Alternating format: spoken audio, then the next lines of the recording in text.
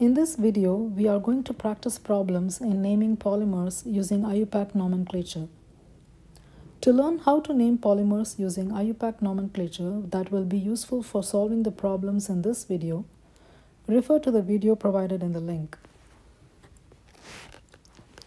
Let's look at the first question. In this question, we have a constitutional repeating unit which has an amino group followed by a cyclohexyl group followed by a phenylmethylene group followed by a pyridine ring. To write the IUPAC name, we want to make sure that the groups are in the right order, which means we move from left while moving from left to right the group that has the highest priority should be on the leftmost. In this case, pyridine has the highest priority because heterocyclic rings get the highest priority. So if we put the pyridine ring on the leftmost, then there are two options. We can put the imino group next because that follows the pyridine ring on the right side or we can put the phenylmethylene group because that follows the pyridine ring on the left side. So on the right side of pyridine ring would be the imino group, on the left side would be the is a phenylmethylene group. So which one do we put? According to the IUPAC nomenclature, the hetero atom gets precedence. So the NH group goes next. Now the rest follows according to the flow of the polymer chain, which would be cyclohexyl followed by the phenylmethylene.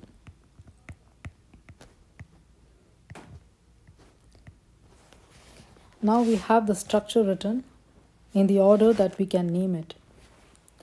So let's start naming. We first write poly followed by parenthesis.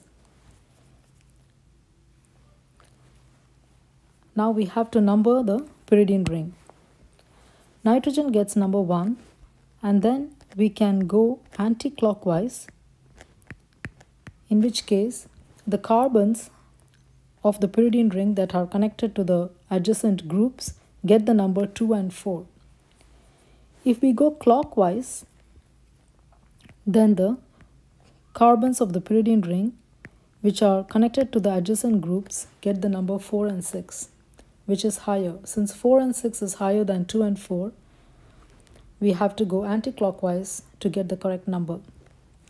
So this would be poly 2 comma 4 pyridine diyl Note the suffix diyl, which refers to the 2 4 being the carbon atoms that are connecting to the adjacent groups, followed by imino, and then we have cyclohexyl. So again, we have to do the numbering. We can start numbering from here and get 1 4 by going clockwise or even by going anti-clockwise it would be 1 4 so it is 1 4 cyclohexyl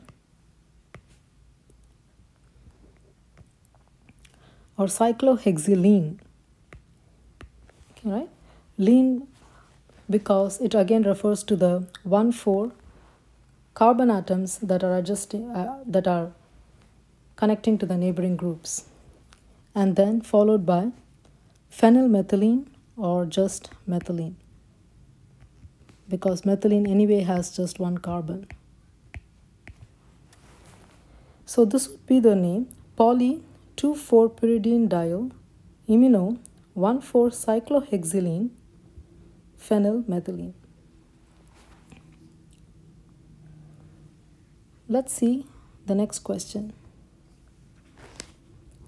Now, this is a spiro compound because it has a carbon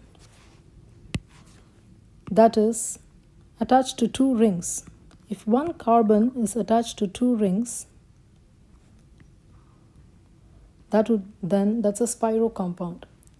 We name such compounds by the, by the word spiro followed by square brackets followed by the size of the smaller ring or the number of carbon atoms in the smaller ring without counting the connecting carbon followed by the number of carbon atoms in the larger ring without connecting the carbon atoms. So if X is the number of carbon atoms in the smaller ring and Y is the number of carbon atoms in the larger ring, it would be spiro XY and then followed by the total number of carbon atoms in the ring uh, or total number of atoms in the ring which would be typically X plus Y plus 1 for the connecting um, carbon atom and then A and E.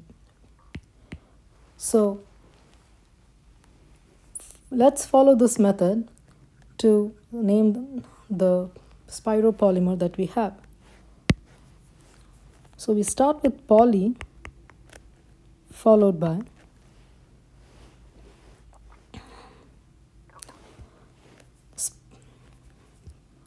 Spiro right well let's open the bracket. And now we have to start numbering. We know we can see that this the smaller ring has three atoms and the larger ring has five atoms excluding the connecting carbon. So it's going to be spiro 3 5 but there is an additional thing to pay attention to there is one oxygen atom so let's number the uh, the spiro the numbering is done such that you start from the smaller ring adjacent to the connecting carbon. So if we start from the smaller ring that is adjacent adjacent to the connecting carbon, we have to start from here. One, two, three, four, five, six, seven, eight, nine.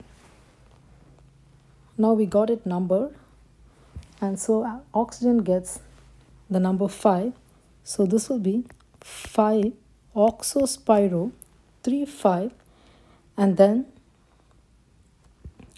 we have to write the total number of atoms which is 9 so instead of writing nonene we would write nonylene right so because we have the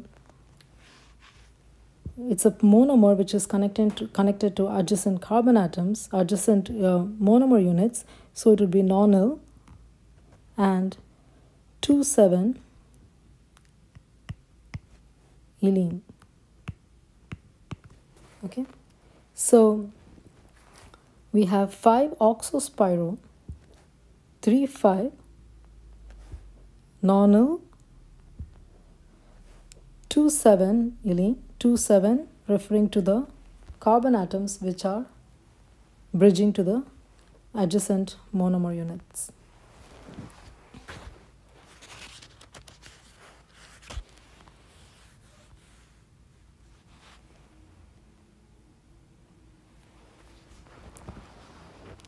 Okay, let's look at this.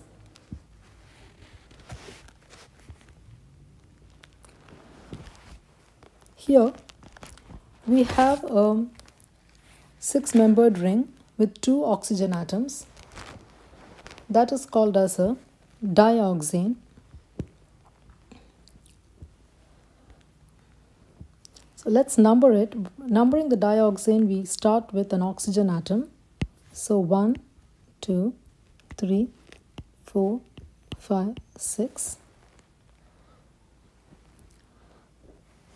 So this is the only way we can number such that both the oxygen atoms get the lower number.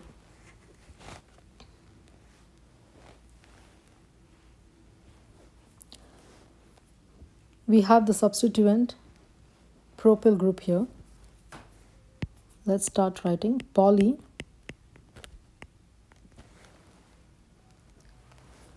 2 2 propyl.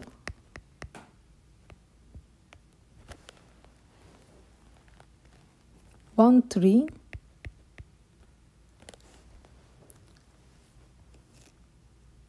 Dioxanyl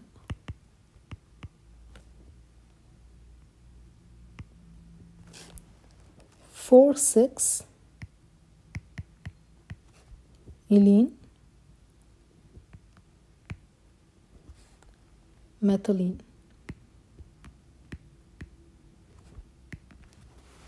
Okay so 2 propyl 1 3 dioxanyl oxanyl 4 6 ylene methylene. That would be the name.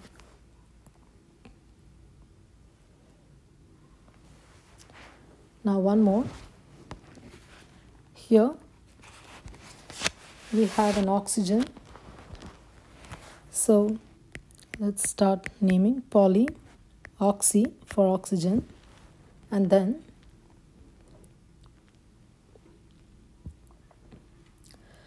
this is a methylene group but with a substituent which is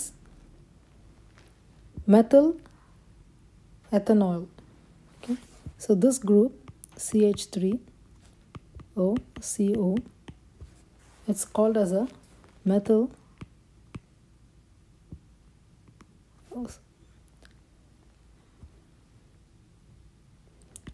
sorry methyl ch3 oco ch2 it's called a methyl and this is called ethanol.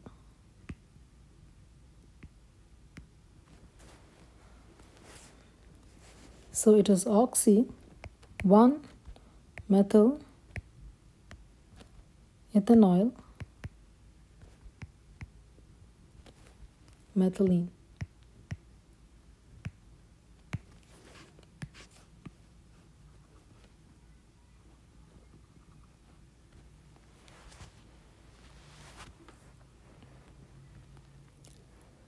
Hope this was useful.